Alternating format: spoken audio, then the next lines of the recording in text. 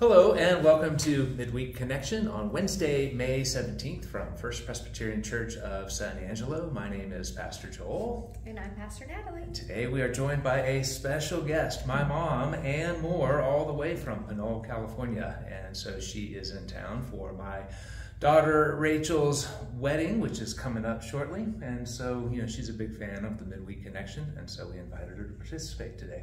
Mom, I'm glad that you're here. Thank you, Joel. All right. Let's go ahead and do what we ordinarily do, and that is to read our daily lectionary texts for today and talk about them a little bit see what the Lord might have for us. And so let me open us in a word of prayer. Gracious Lord, thank you so much for these good words to us today. Your words, your words of life and truth, your words that lead us into the way of salvation. Lord, I pray that as we read these words today, you would be glorified and we would be built up increasingly to be better witnesses of your kingdom here on earth. We thank you for this time. We thank you for my mom being present with us here today. And uh, guide us in this discussion, Lord, we pray. And it is in your name, Jesus, that we pray. Amen. Starting off today with Psalm 99. The Lord is king. Let the peoples tremble. He sits enthroned upon the cherubim. Let the earth quake. The Lord is great in Zion. He is exalted over all the peoples. Let them praise your great and awesome name. Holy is he. Mighty King, lover of justice, you have established equity. You have executed justice and righteousness in Jacob. Extol the Lord our God. Worship at his footstool. Holy is he. Moses and Aaron were among his priests. Samuel also was among those who call on his name. They cried to the Lord, and he answered them. He spoke to them in the pillar of cloud. They kept his decrees and the statutes that he gave them. O Lord our God, you answered them. You were a forgiving God to them, but an avenger of their wrongdoings. Extol the Lord our God and worship at his holy mountain, for the Lord our God is holy. Psalms 147, 1 through 11. Praise the Lord. How good it is to sing praises to our God, for he is gracious, and a song of praise is fitting. The Lord builds up Jerusalem. He gathers the outcasts of Israel. He heals the brokenhearted and binds up their wounds. He determines the number of the stars he gives to all of them their names. Great is our Lord and abundant in power. His understanding is beyond measure. The Lord lifts up the downtrodden. He casts the wicked to the ground. Sing to the Lord with thanksgiving. Make melody to our God by the on the lyre. He covers the heavens with clouds, prepares rain for the earth, makes grass grow on the hills. He gives in gives to the animals their food and to the young ravens when they cry. His delight is not in the strength of the horse, nor his pleasure in the speed of a runner. But the Lord takes pleasure in those who fear him, in those who hope in his steadfast love. And from the Old Testament, we have Deuteronomy chapter 19, verses 1 through 7.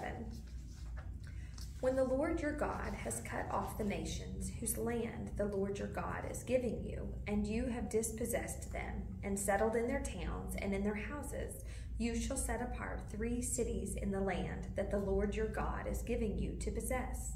You shall calculate the distances and divide into three regions the land that the Lord your God gives you as a possession, so that any homicide can flee to one of them. Now, this is the case of a homicide who might flee there and live, that is, someone who has killed another person unintentionally when the two had not been at enmity before. Suppose someone goes into the forest with another to cut wood, and when one of them swings the axe to cut down a tree, the head slips from the handle and strikes the other person, who then dies. The killer may flee to one of these cities and live. But if the distance is too great, the avenger of blood in hot anger might pursue and overtake and put, put the killer to death, although a death sentence was not deserved, since the two had not been at enmity before. Therefore, I command you, you shall set apart three cities. From our epistle lesson today, we have James chapter 5, verses 13 through 18. Are any among you suffering? They should pray. Are any cheerful? They should sing songs of praise. Are any among you sick? They should call for the elders of the church and have them pray over them, anointing them with oil in the name of the Lord. The prayer of faith will save the sick, and the Lord will raise them up. And anyone who has committed sins will be forgiven. Therefore, confess your sins to one another and pray for one another so that you may be healed. The prayer of the righteous is powerful and effective. Elijah was a human being like us, and he prayed fervently that it might not rain. And for three years and six months it did not rain on the earth. Then he prayed again, and the heaven gave rain, and the earth yielded its harvest. And the, gospel lesson is from Luke chapter 12, verses 22 through 32, 31. And he said to his disciples, Therefore I tell you, do not worry about your life, what you will eat, or about your body, what you will wear. For life is more than food, and the body is more than clothing. Consider the ravens, they neither sow nor reap. They neither store house or nor barns. They have neither storehouse nor barns, and yet God feeds them. Of how much more value are you than the birds? And can any of you, by worrying about a single hour of your span of life, if then you are not able to do so small a thing as that, why do you worry about the rest? Consider the lilies, how they grow. They neither toil nor spin, yet they tell that I tell you, even Solomon in all his glory was not clothed like one of these. But if God so clothes the grass of the field, when which is alive today and tomorrow is thrown into the oven, how much more will the, he clothe you, O ye of little faith? And do not keep striving for what you are to eat and what you are to drink, and do not keep worrying, for it is the nation of the the nation of the world that strives after all these things. For your Father knows that you need them. Instead, strive for his kingdom, and these things will be given to you as well. And back to our psalm, Psalm 9. I will give thanks to the Lord with my whole heart. I will tell of all your wonderful deeds. I will be glad and exult in you. I will sing praise to your name, O Most High. When my enemies turned back, they stumbled and perished before you. For you have maintained my just cause. You have sat on the throne giving righteous judgment. You have rebuked the nations. You have destroyed the wicked. You have blotted out their name forever and ever. The enemies have vanished in everlasting ruins. Their cities have rooted out. The very memory of them has perished. But the Lord sits enthroned forever. He has established his throne for judgment. He judges the world with righteousness. He judges the peoples with equity. The Lord is a stronghold for the oppressed, a stronghold in times of trouble, and those who know your name, put their trust in you. For you, O Lord, have not forsaken those who seek you. Sing praises to the Lord who dwells in Zion. Declare his deeds among the peoples, for he who avenges blood is mindful of them. He does not forget the cry of the afflicted. Be gracious to me, O Lord. See that I suffer from those who hate me. You are the one who lifts me up from the gates of death, so that I may recount all your praises. And in the gates of daughter Zion, rejoice in your deliverance. The nations have sunk in the pit that they made, in the net they hid as their own foot been caught. The Lord has made himself known, he has executed judgment. The wicked are snared in the work of their own hands. The wicked shall depart to Sheol, all the nations that forget God. For the needy shall not always be forgotten, nor the hope of the poor perish forever. Rise up, O Lord, do not let mortals prevail. Let the nations be judged before you. Put them in fear, O Lord. Let the nations know that they are only human. And our final psalm today is Psalm 118. Oh, give thanks to the Lord, for he is good. His steadfast love endures forever. Let Israel say, His steadfast love endures forever. Let the house of Aaron say, His steadfast love endures forever. Let those who fear the Lord say, His steadfast love endures forever. Out of my distress I called on the Lord. The Lord answered me and set me in a broad place. With the Lord on my side, I do not fear. What can mortals do to me? The Lord is on my side to help me. I shall look in triumph on those who hate me. It is better to take refuge in the Lord than to put confidence in mortals. It is better to take refuge in the Lord than to put confidence in princes. All nations surrounded me. In the name of the Lord I cut them off. They surrounded me, surrounded me on every side. In the name of the Lord I cut them off. They surrounded me like bees. They blazed like a fire of thorns. In the name of the Lord I cut them off. I was pushed hard so that I was falling, but the Lord helped me. The Lord is my strength and my might. He has become my salvation. There are glad songs of victory in the tents of the righteous.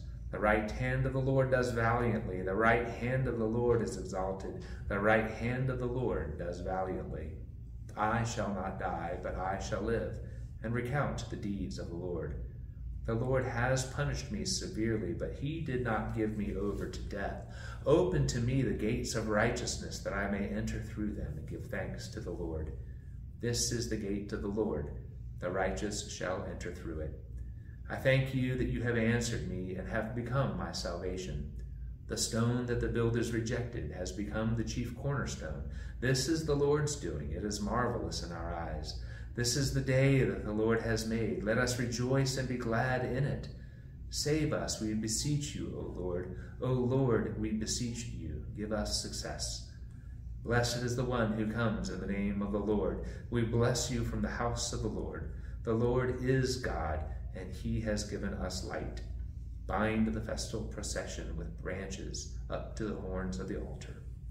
You are my God, and I will give thanks to you. You are my God, I will extol you. Oh, give thanks to the Lord, for he is good, for his steadfast love endures forever. Amen. These are the words of the Lord. Thanks, thanks be to God.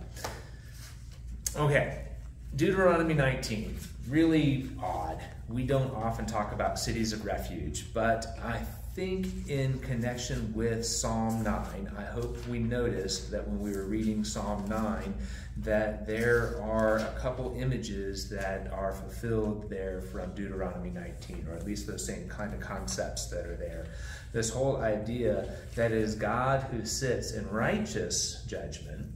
And right. so if there was an accidental manslaughter, uh, the Lord would not require death of that because uh, of the person who of the person who killed the other because it was an accident. It was not an unjust thing that was done. Um, and so this whole idea that God is the one who gives judgment, uh, righteous judgment. But verse 12 this is where we have that same word. For he who avenges blood is mindful of them. He does not forget the cry of the afflicted. So even if humans in our incapacity to always judge rightly, you know, in Deuteronomy it talked about how if the distance between the cities of refuge is too great, it's possible that the avenger of blood will overtake him and kill him, even though that was unrighteous in and of itself. God at that beginning of the creation of people, uh, of, of, creation of the nation of, of, Israel, his people, he gave them uh, the capacity to wait He gave them the capacity for anger to cool. He gave capacity for a full investigation to be made um, rather than uh, hot headed, intemperate uh, injustice against something that was an accident. But at the same time, God is ultimately the, the, the, the right avenger, the right uh, uh, accomplisher of justice in, in, all of its capacities. So um, it'll be, it'll, you know, we'll see how that connects with James and Luke in a second. But I just really enjoyed how Psalm 9 indicates that that God is the one who judges rightly Mm-hmm. And humans, uh, even in the best of our circumstances, don't always understand the full of the story, uh, but God gives an opportunity for protection to keep uh, to happen. Well, and he takes his law and he gives parameters and he gives explanation. He doesn't just put it out there and say, okay, do with it what you want. There is an explanation and there are boundaries and there are parameters and there are, um, you know, there are things in place for protection mm-hmm. because, as you said, it was an accident. There, you know, things happen. And so um, he recognizes that. And, and I think that that is done in that desire of protection and of good for his people. Right. If one goes further on into that Deuteronomy 19, it does talk about if people flee to the city of refuge that are actually guilty, then hey, there's there's no mercy on that, right? You know, it's just it, it works in both regards. Right. You know, you right. can't uh, you can't take advantage of God's provision uh, uh, to excuse uh, your intentional misdeeds. Now. Right now, that being said, this is where I think maybe we can make a connection to James chapter 5. Because what does James chapter 5 say about, um, you know, if, uh, let's see, if any of you are suffering, they should pray in cheerful songs of praise. If any sick, call the elders. But what does it say? Um, anyone who has committed sins will be forgiven what's that whole context about? Like, there are ways that our sins do result in complications of our lives, not just in our own lives, but complications with other people. This concept, I believe, of calling the elders, again, this is where um, the community of faith, you know, back then Israel was a community. You know, God was mm-hmm. establishing, as you were saying, uh, proper boundaries, parameters around the community of faith. These are the ways that people of God should interact with people of God. And back then it was limiting the amount of violence.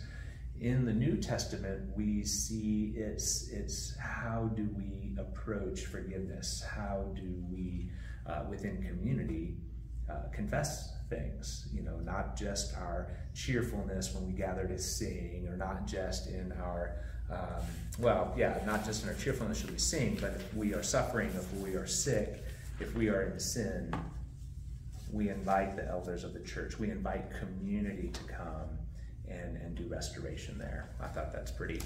Right, and this is also where we pray for wisdom mm-hmm. before we start casting stones and that you pray for wisdom and you're as you said cool off a bit before you react i'm quite guilty of reacting rather than Yes.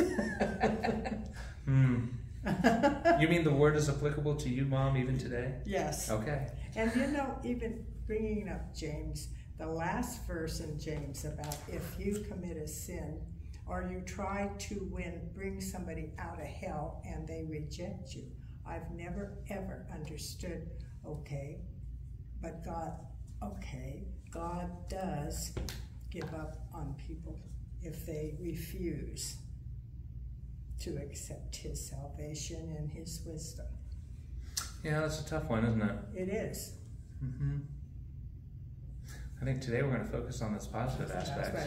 Yes. but yes, yes, yes, that's a tough one. Um, and, and, right. And once again, ask for wisdom. Absolutely. Absolutely.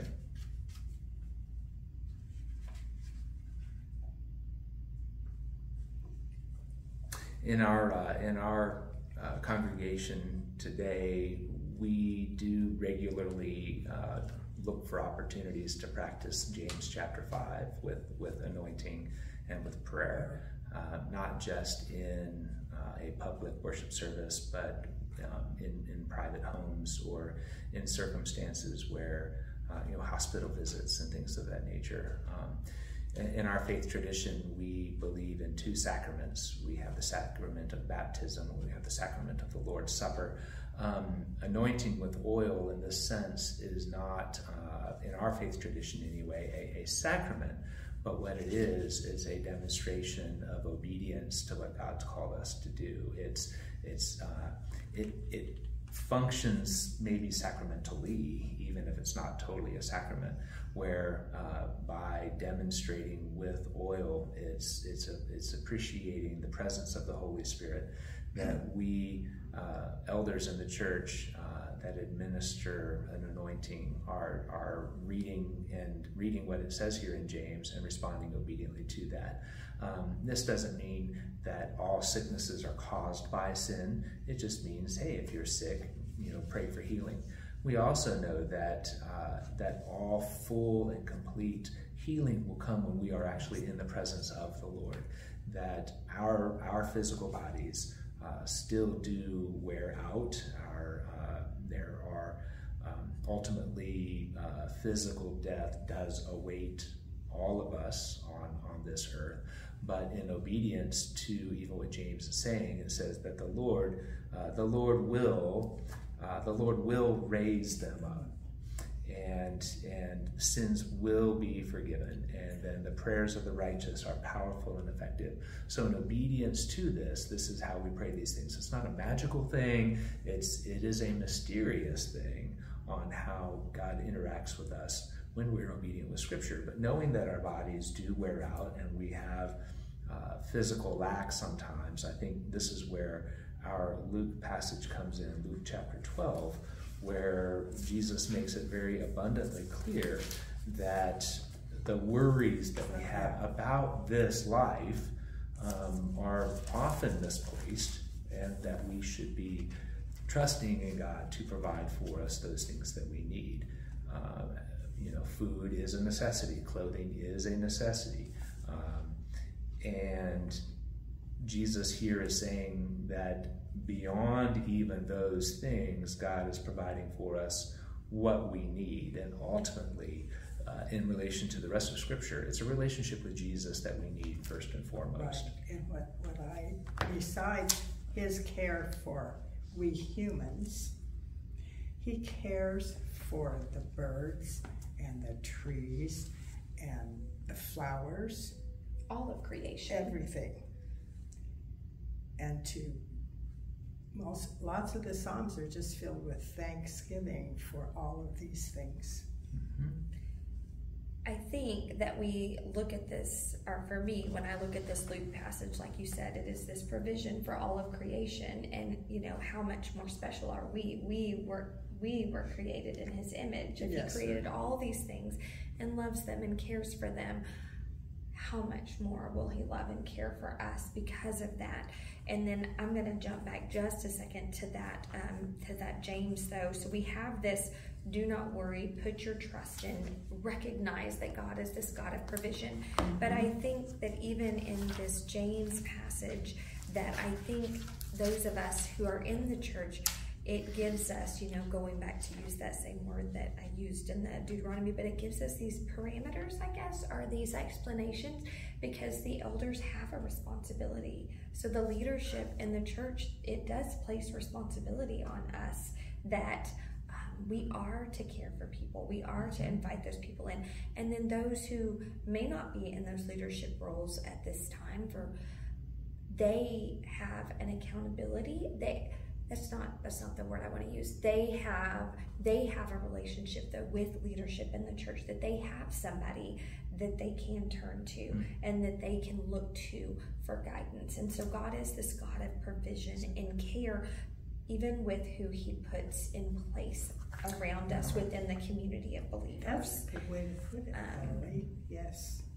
Yeah, that's yeah, that's great. Um, one of the ways that God does provide for us is providing spiritual accountability and, and leadership. And within the church. Uh, you know, there are plenty of other places in Scripture, both Old and New Testament, that if if we are not clothing the the, the naked, if we are not feeding the hungry, uh, then we are not doing those things that God has commanded us to do. And so um, people shouldn't worry. And why should people not worry? Well, Jesus does provide for us, but how does He provide? He provides through His church. He provides these things. So, yeah, that's a great, mm, great connection. Love that. Love that.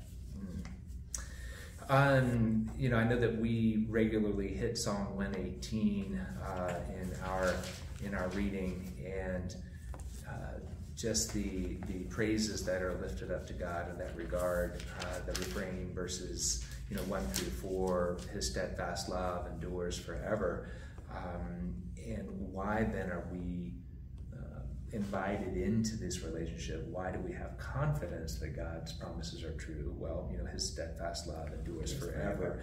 There's a little brief recapitulation of the of the history of Israel. Uh, uh, all of the nations conspiring, the, the difficulties that were faced, uh, singing songs in the tents of righteousness and you know, the victory, all of these things, um, reminding history, uh, the, the people of Israel of their, of their past, that God is present during all of their challenges.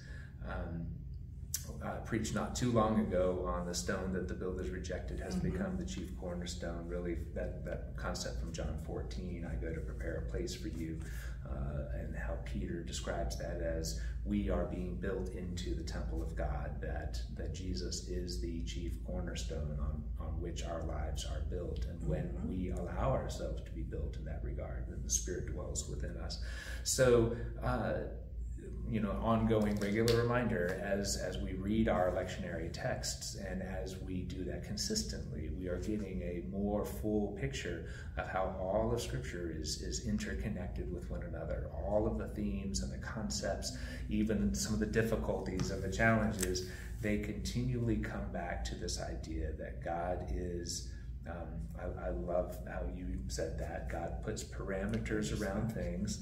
God is self revealing and he reveals himself in a certain capacity that these are the things that God does. And as we trust that God has revealed himself to us in that regard, uh, we believe that if we function within those parameters that he established for us, that our lives will increasingly reflect his glory, um, uh, increasingly give him the praise that he is due and ultimately then be able to share that with other people. Uh, you know, that, that whole line in there, uh, verses 8 and 9, I think about it in light of, oh, just our ongoing political tensions and controversies and things. You know, it is better to take refuge in the Lord than to put confidence in mortals. It is better to take refuge in the Lord than to put confidence in princes and how we see that humans and those in human authority uh, can be just so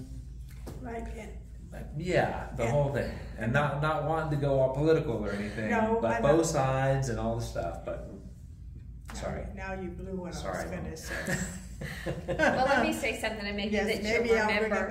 Um, I think too, Joel, that gets back to that very last line that I read there in Psalm nine. Um, Put them in fear, O Lord. Let the nations know that they are only human. Mm. Yes, there is a recognition. We we have a place, and we are invited into this narrative by God. Mm. That He is God, and we are not. Right. And what I was going to say is that when someone is complaining about politics and I mean, you know, the whole situation, I have found myself saying more and more, God is in charge. I am not going to worry about it uh-huh. anymore. Perfect. That, I think that kind of. I think be. that I think that just encapsulates everything that we've read about today. You know, whether you are falsely accused, whether you are in lack of necessities, whether you are sick, or all these things, it's you know, cast your burdens on Jesus because He cares for you. And we then, as the church, have the responsibility to to meet those needs when we when we find them. Sometimes we ourselves experience them, and sometimes the world out there is experiencing it, and we need to demonstrate that that love as Jesus demonstrated for us. We need to demonstrate that with others. So that I guess ultimately everybody could then say, Oh, give thanks to the Lord, for he is good, for his steadfast love endures forever. Amen. Amen. Natalie, you want to go ahead and close us in prayer? I'd be happy to. Awesome. Gracious Lord, thank you for your words to us today. Thank you for your love for us, that your love is steadfast and uh, full and complete, and that you love us so completely and in every aspect of our lives, and that you have put out those parameters, you have put out those boundaries, you have put out um, your words to explain and to um, invite us in with justice and righteousness um, and mercy and grace. And we just thank you that we can come to you, that we can cast our burdens upon you, and that you are there, and that you are God. And in your Son's holy name we pray. All right, everybody. Thanks for joining us today. Hey, if you want more of this content, hit like and subscribe. It just seems a little cheesy, but if it's on YouTube, it might help. Um, but we are looking forward to Sunday, and we've got two services again, nine o'clock and eleven fifteen. And actually, Pastor Natalie is going to be preaching at both on Sunday. We're really super excited about that. And so, uh, if you can be present with us in worship service, please do so. And if you cannot be present with us in worship, please do consider watching online. But uh, if you have any questions, comments, concerns, don't hesitate to call the church. We'd be happy to listen to you and then to pray with you, uh, sharing our burdens together that we can glorify God. Thanks, everybody. Have a great day. Bye bye. Bye.